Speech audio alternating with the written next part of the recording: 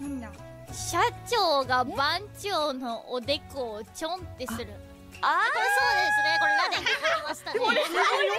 若干浮世絵チックだけど伝わる伝わる浮世絵じじゃゃないない殴られてんのかと思った初めそうそうそう殴っちゃったえご褒美じゃんるじゃん喜んでるな番長によえなな名前すら書かれてないんだけど変態って書くなよ変態だったじゃん今の子にゃいやでも番長に殴られたリリカちゃんのアホ毛はハートになる本当だせめてリリカって書いてくれよ。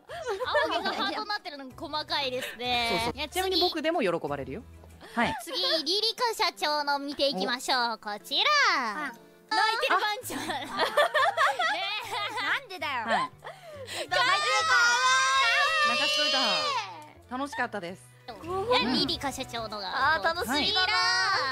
あじゃあ初めて縛られて喜ぶリリカしかも本人に書かしてるよね。楽しみだなっちゃった伝わってる伝わってる。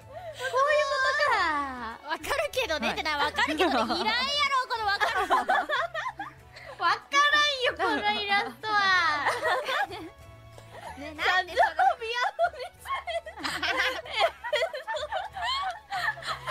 何？これ発想がすごいですね。